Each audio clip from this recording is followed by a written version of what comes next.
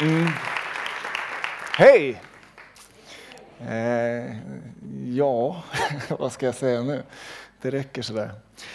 Så här, jag tänkte eh, först när jag fick den här förfrågan så tänkte jag det är ju liksom, är ju mitt favvoämne lite grann. Alltså jag hade tänkt att jag skulle så komma hit och skoja lite mer. Eh, men, men sen förändrades världen lite grann så jag tänkte jag skiter i att skoja mer. Eh, så vi tar lite seriöst och sen lite skoj också. Ehm, jag får ganska mycket frågor kring, ehm, eller mycket viljor att trolla. Ehm, många företag som kommer till mig och vill att jag ska trolla åt dem. Men de vet inte om att det är trollar de, de ber mig om att göra. Och vad, som jag definierar trollning, det är att man får någon att omedvetet göra någonting genom att sätta den ur balans. Genom antingen att använda retorik eller använda en överlägsen förståelse i ett ämne. Eller att skapa en distraktion, alltså skapa någon typ av händelse som gör att en människa så här, sätts ur balans. Ehm. Och det är lite grann eh, liksom, utgångspunkten i allt det här, att man måste ha den förmågan. Det många ser som troll är näthatare. Ett troll kan föda näthat om det är dens syfte. Men den är väldigt sällan publik näthatare själv. Alltså det är väldigt sällan som trollet, alltså den som skapar näthatet, är den som också är där ute och skriver kommentarerna och sådana där saker. Men det kan få människor att omedvetet då bidra till näthat genom att den sätter igång själva effekten. Eh, och det som särskiljer till exempel en näthatare eller någon som delar någonting utan att säga oh, är uppe i molnen och tycker att någonting är fantastiskt. Eh, det är att de saknar oftast den här finessen eh, och stilen att göra det här. Tittar man på det amerikanska valet så kan man jättetydligt se att, att det finns många sådana spin doctors kallades de förut, numera nättroll, som kan sätta igång andra människor att känna saker och tycka saker utan att de egentligen vet varför. Och då får man den här typen av svar som säger, nej men det känns inte riktigt rätt. Jag kallar de här sanningarna som trollen skapar för minsta acceptabla sanningar. De behöver inte vara sanna, men de känns rätt och är acceptabla. Eh, och därför så, så tror jag på det snarare än någonting annat. Det är ungefär samma sak som att en startup skapar en MVP, en minimum viable product. Och det betyder egentligen att jag skapar en sanning. Här, den här saken kan handla om massa andra saker. Men jag fokuserar på att kommunicera en sak, eh, för det är det som är enkelt att förstå att den här grejen gör. Ett exempel där Facebook, när, när de eh, liksom började växa och bli stora, Eh, så var deras minsta, eh, eh, eller, eh, minsta acceptabla sanning, det var då att, att man taggar någon på Facebook. Alltså, är du taggad på Facebook? Det var det som alla pratade om. Facebook handlar om så många andra saker. Men hade Facebook försökt att förklara alla de sakerna och inte liksom hoppa på tåget och bara säga, att du är taggad i bilder, du är taggad i bilder.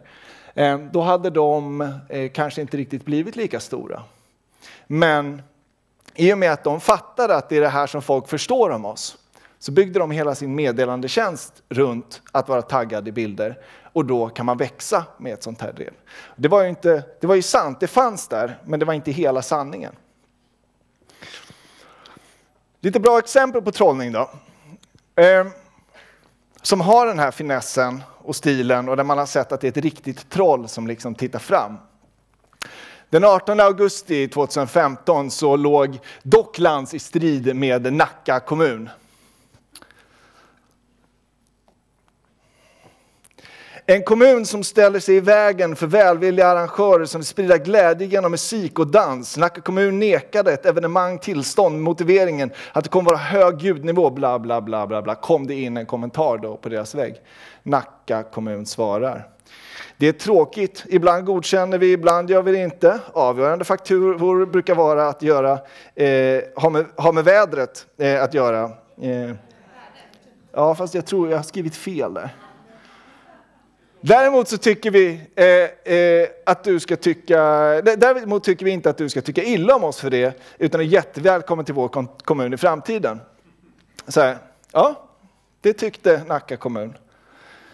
Sen kommer den här kommentaren. Snacka om att vara eh, så gammaldags i sin, sexdags, eh, i sin politik. 60-talet ringde mig och sa att ni skulle eh, passa där.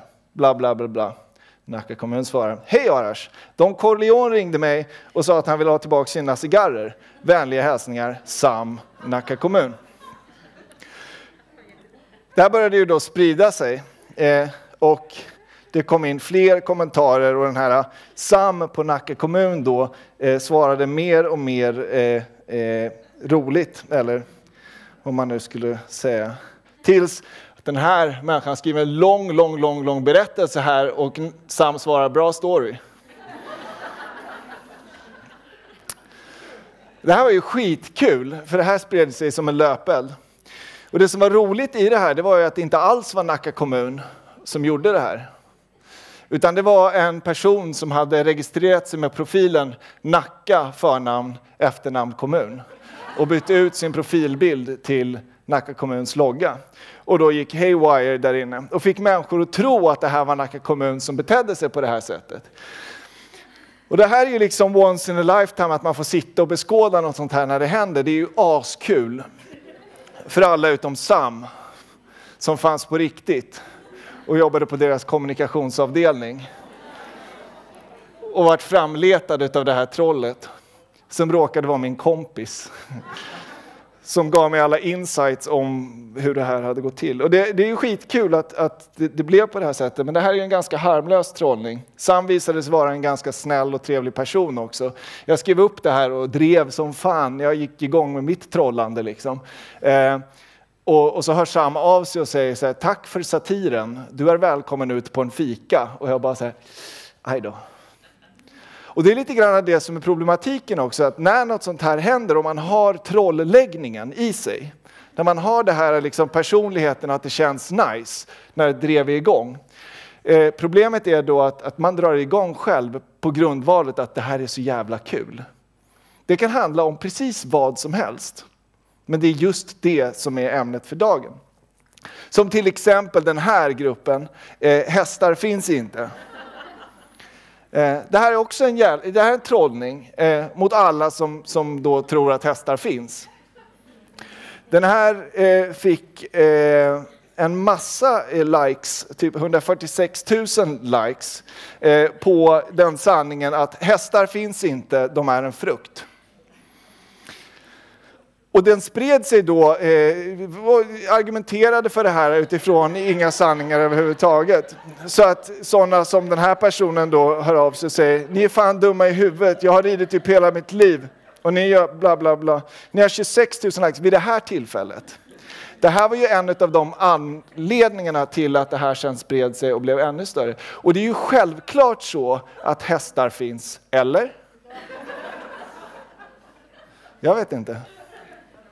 Ja. Men, men skämt åsido, det kan ju hända, det här är två ganska harmlösa exempel. Ibland kan en president bli vald på troll och sånt där. Så då är det bra att veta vilka det är som trollar för att kunna liksom sålla ut dem. Och när vi gör skärningar och tittar på eh, olika typer av beteenden för att kunna vända oss till människor med olika typer av budskap, för det är olika typer av budskap som triggar dem. Då har vi vant oss vid att man har, ibland, man har oftast bara i råd att bry sig om tre av de här standardbeteendena. Eh, och så här ser det ut ungefär, att vi har någon slags mittpunkt utav varje fråga. Det här är en fråga eller filterbubbla. Det här är en fråga eller filterbubbla. I mitten utav dem finns ett beteende, det kallar vi för C i det här fallet. Sen så finns det ett annat beteende som finns bredvid dem, det kallar vi för B. Eh, och så finns det massa människor eh, som ligger i ytterkanterna. Eh, de här människorna bryr sig alldeles för mycket om ämnet för att vara relevanta för någon annan. Alltså de är så nördiga och inne i sin liksom, grej. Så när de börjar prata om den grejen så, så, så dör middagsbordet utav att de kan alla förkortningar och sånt där. De här människorna här ute, de bryr sig väldigt lite om någonting eller om det här ämnet som den här människan bryr sig om. Därför att de är så intresserade om något annat det är inte det att de skiter i det här ämnet, då hade de inte varit connectade till det överhuvudtaget. Utan de är helt inne i att prata om något annat. Och därför så accepterar de sanningar som då de människorna som använder det här äh, ämnet för att framstå som experter eh, eh, pluppar ur sig. Nu ska vi prata om vårmodet. Och vårmodet i år är beige. Den här människan bara, nej men det finns massor av vårmoder, det finns hur mycket som helst. Och den här bara, beige. Så funkar det. Det här beteendet kallar vi för, för eh, connectors. De eh, har alla potential att vara troll. Det här är människor som de består ungefär, ungefär 9 av dem som är, eh, är, är, engagerade i ett ämne. Eh, de uppvisar högt engagemang, de är väldigt duktiga kommunikatörer och de älskar sig själva.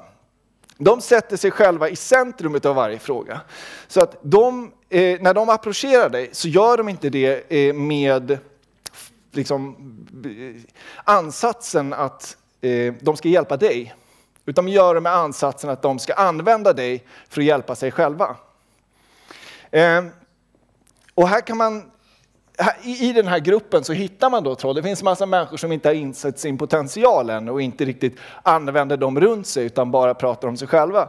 Men de som har absolut största nätverken här, eh, de har ett väldigt tydligt trollbeteende. Så jag ska ta något exempel.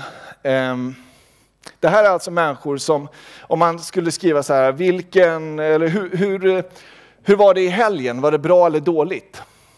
Då kommer de här människorna som inte riktigt bryr sig om helgen och skriver så här bra, bra, bra, bra, dåligt, dåligt, dåligt, dåligt, bra, bra, bra, bra, dåligt, dåligt.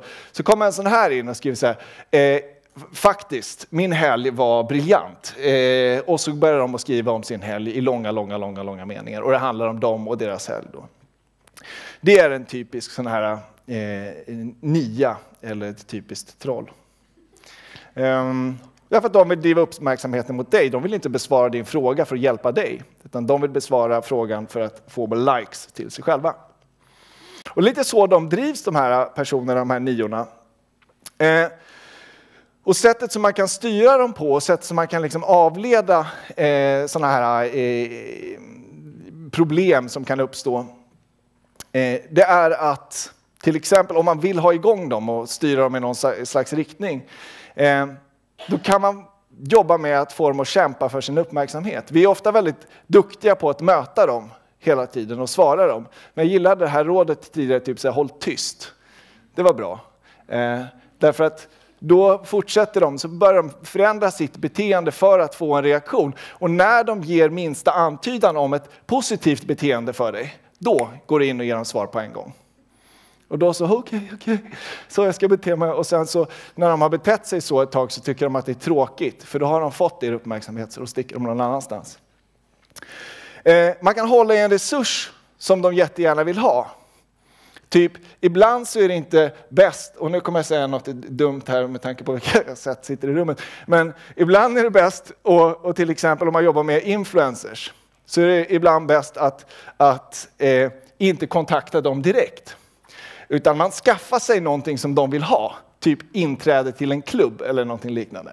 Och sen så håller man i alla biljetterna till det stället. Och så gör man press på att man ska ha den här klubben. Och sen går man ut och bjuder in de här, för då vill de, då vill de ha tillgång till den här listan för, för att få komma in. Då. Och då blir det mycket billigare, slipper man betala 35 000, då kan man betala 25 000 för hela klubben istället. Och så får man alla istället för bara en. Ehm. Och man kan ge dem en plattform där de kan tycka. Och det, det var också någon som sa det, att man avleder in i liksom något slags eget hörn av internet. Och det är bra. Men man måste hela tiden få den här personen att uppleva som att alla andra är där och tittar på den medan den eh, eh jollrar. Så jag, jag funderar på om man, om man då skulle skapa någonting, typ en, så här, en live-feed som ledde ut i ingenstans. Och så hade man en, så här, du vet, en, en, en view counter som bara visar att det är 27 000 människor som tittar nu. Då skulle den personen spendera hela sin tid och sitta där och bara prata, därför att det är det som den drivs utav. Då. Så. Så det är lite sådär, de, de drivs av uppmärksamhet och så länge som de känner att de får uppmärksamhet genom din kanal så kommer de att fortsätta. Så hur gör man då? Eh, och nu kan ni ju använda det här för att få dem att inte göra det. Eller, eh, då. Här är tre taktiska grepp. Det första kallar jag för det uppenbara missförståndet. Man har en fakta eh, och så kommer trollet in och så lägger den ett absurd argument baserat på den här faktan.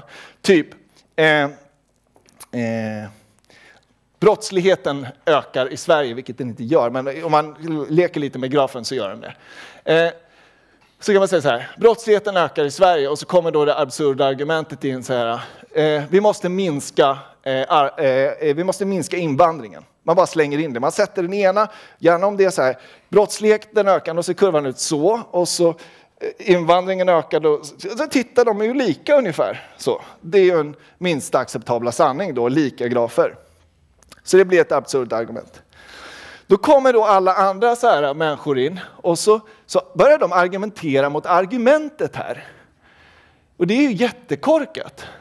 Därför att de går in här och säger de så här, men, så här, men vi är för invandring, ni kan inte vara emot invandring. Och då så svarar de då och säger så här, men är du för brottslighet? Så de skickar bara vidare till faktan, eller till, till faktan. Och det här, är, det här är så vanligt när man ser hur de håller på ute på nätet att, att de, de, de då använder basen som är en fakta, en riktig siffra eller någonting som är riktigt som stämmer överens. Sen så kopplar de det till en absurd argumentation. Och i och med att de har gjort den kopplingen och ingen ifrågasätter den kopplingen överhuvudtaget. Ska man argumentera mot dem så måste man ifrågasätta den kopplingen, inte argumentera mot argumentet. Det är helt uppåt väggarna. Ifrågasätt kopplingen och där behövs det lite fakta, men det behövs också känslor. Därför att eh, här argumenterar trollet, den håller sig i sin värld. Så när det passar att argumentera här så argumenterar den här. Och när det passar att argumentera här så håller den sig här. Och i det där vimlet så uppfattar vi inte längre vad som är fakta och vad som inte är fakta. Utan det är bara en massa saker som hör ihop. Så helt plötsligt så, så blir det här, eh, de säger ju att, alltså de sa att, du vet de där, de, ja, men ni vet väl att? Och så bara, var har du hört det? Eh, det, det, det alla säger ju så. Och där kan ni eh, googla på något som heter Majority Illusion och se exakt hur det här funkar. Så det här är den ena taktiken som kallas för det uppenbara missförståndet. Den andra är att ställa upp valen och det här är en gammal klassisk eh, eh, dammsugarförsäljningstaktik. Och det är så här, jag har en utgångspunkt, eh, jag vill att du ska göra någonting. Och sen så ställer jag upp valen som, som du har framför dig. Politiker använder det här också väldigt ofta. Eh, och då så kan det vara så här, jag vill att du ska köpa min dammsugare. Och så frågar jag, vill du betala idag eller om 30 dagar? Båda de valen betyder ju ja, att jag kommer att köpa din jävla dammsugare.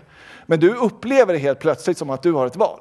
Och då sitter du där och väljer, idag eller har jag råd idag? Eller har jag 30 dagar? Och så kommer du att konvertera eh, in på det här. Ett annat ett tillägg på den här det är att ni, man, man, man, frågar om någonting lite så här, får jag ställa en fråga till exempel? Eh, och sen går man in i den här eh, valsituationen. Om, om du har svarat ja på den första frågan så visar det sig att människor är väldigt mycket mer benägna att köpa in på det som kommer därefter. Ja. Så man har någon åsikt som ligger här. Eh, och sen så för man diskussionen här borta. Man sätter reglerna för debatten. För att det som händer då, ifall någon skulle bryta mot det här valet, då kan, man, då kan trollet då lätt säga så här och shamea den här personen och säga vi pratar inte om det där här. Alltså det är inte det som vi diskuterar nu. Du ska, där borta kan du, här diskuterar vi de här valen. Så. Och för att bryta det här då, eh, då kan man gå in och, och, och säga, säga, en sån sak som, men alltså, eh, hur menar du då? Om det bara är de här valen som kan diskuteras. För det är en tredje och sista taktiken jag tänkte prata om, det är den ultimata frågan. Eh, den ultimata frågan. Och det här är troll jätteduktiga på. Att om de upptäcker att du sitter på mer fakta än vad de gör, och du, i synnerhet när du är en besserwisser, då sitter du i skiten. Därför att eh, de, alltså, de, när man slänger ut en åsikt eller någonting sådär, så kommer en besserwisser in och så bara, babada, babada, ba. Då svarar man så här, hur menar du då? Gör trollet. Hur menar du då? Och då så, har du underlag på det? Kan du bevisa det på något sätt? Och besserwissern, han, eller han eller hon, är ju djupt inne i att bevisa sin tes. Och skiter i att ta ett steg tillbaks och ställa, varför ställer du den frågan? Det här är ju uppenbart. Utan man istället så här, man går in i försvar och argumenterar återigen på faktat eller på, på åsikten. Och så är man lost därför att den personen, trollet då, driver debatten. Och då har man på något sätt ånyo gjort så att trollet eh, vinner.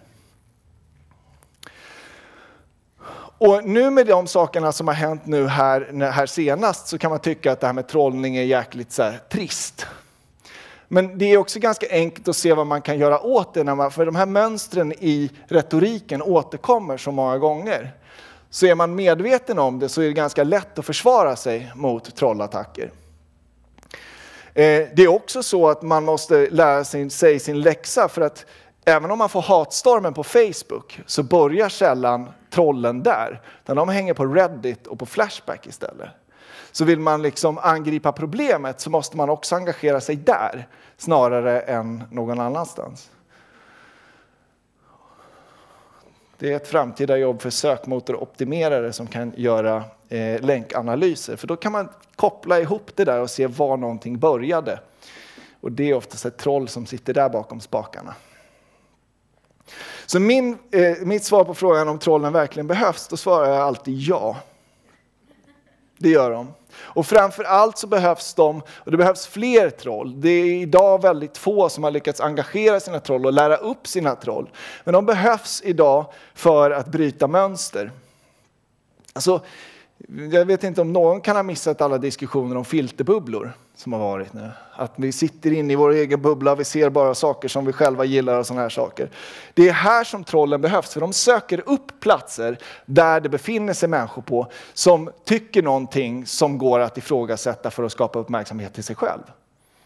Så ju mer koncentrerad sanningen är i en filterbubbla, desto mer attraktiv är den för ett troll att slå sig in i och vrida på hela eh, paletten. Där kan man se så här, SD i Sverige har haft invandringen som de liksom har använt som sin så här, tjum, liksom, och så, så har, de, har, de, har de använt sig av den minsta acceptabla sanningen att vi är annorlunda. Det är deras grej, vi är utanförskapet. Det var deras minsta. De försökte så här, invandrarna tar våra jobb, och invandrarna tar alla bidrag. Så här. De försökte med massa så här grejer. Och sen så Moderaterna bara skickade de så här, men vi har folk som är innanför och folk som är utanför. Och vi är innanför och tycker att vi ska stödja de som är innanför. Och så sa SD bara, men vi är utanför. Och alla som då eh, var utanför, de bara så här, shit, de är med oss. Vi är emot dem där. Och fick en tydlig roll i livet. Det var ganska äckligt att se, men det var intressant också. Och nu ser man sossarna försöker göra sig själv. De har hittat sin egen invandrarfråga nu i Företagarna. Och så har de liksom bara så här, ah, småföretagarna, hur många är de? Är de ungefär lika många som invandrarna? Kan vi vända svensk opinion mot företagarna här? Vi testar att läcka lite saker i en kommande utredning. Och så satte trollen igång. Och det var troll som var för och troll som var emot. Och, och jag satt och funderade, så här, det är inte Moderaterna som har anställt ett troll, utan de har anställt en näthatare som gör bort sig i tv. Det är sossarna som har anställt ett troll nu, som nu sitter och planerar hur människor ska bete sig kring den här frågan. Och jag tror att det kommer funka. Alltså det är en tillräckligt isolerad grupp som är så jävla aggressiv och bara reagerar. Så fort, du tar inte våra pengar! Liksom. Avveckla LAS och sånt där. Ja, tro, tro mig. De har hittat sin egen pajkastning och det här är ju, låter ju cyniskt och äckligt och sånt där och det är precis vad det är. Men det bryter också mönster. Det tar liksom situationen från en status quo där det är idag till någonting nytt och vi behöver den förändringen och vi orkar inte tänka på allting som sker omkring oss. Så därför måste vi ta hjälp av trollen för att skapa den här förändringen. Också inne i företag, jag hör många som liksom har problem med den här digitala transformationen. Och de har liksom inte tänkt sig trolltaktiskt hur de ska ta tag i det där. Men börjar man tänka utifrån trolltaktiska perspektiv så börjar det bli ganska enkelt att få någon att börja vinkla lite tankar. För de utmanar sanningar och de är kreativa. Hur mycket mer tid har jag ungefär? Fem minuter. Fem minuter. Bra. Så, det var det jag tänkte säga om trollteori. Så nu tänkte jag ha en liten workshop.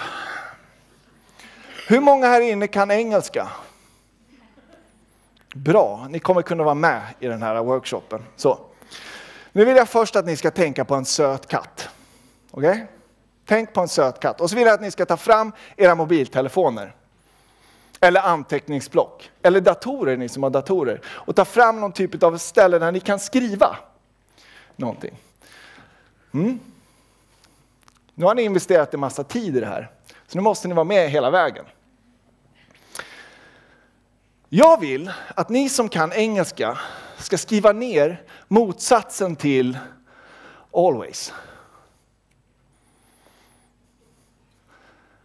Och sen, och, och, vad är det? Vad är det? Någon som sitter här. Vad är motsatsen till always?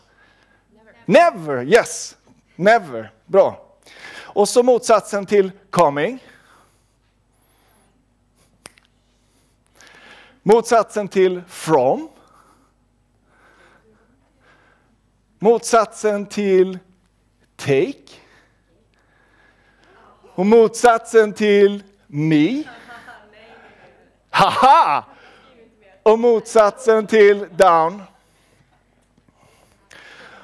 Och så vill jag att ni läser upp det här, de orden ni har fått ner. Så vi läser ni upp dem för grannen som ni sitter bredvid. Skrik ut dem ifall ni har det. Är det någon som kan? Vadå?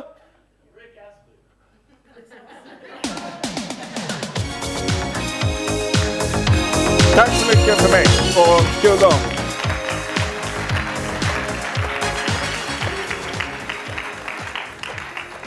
Ja, vi kramas för fan. Det är så ovanligt.